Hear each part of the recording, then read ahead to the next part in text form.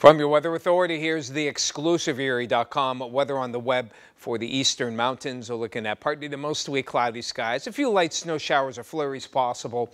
Temperatures holding in the middle to upper 20s. Mostly cloudy, chance of a few snow showers late tonight.